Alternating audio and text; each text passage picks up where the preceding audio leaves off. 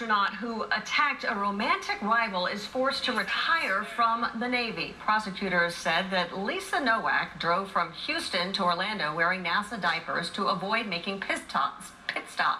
She attacked a woman who was dating her former love interest. Nowak served a year on probation under a plea deal.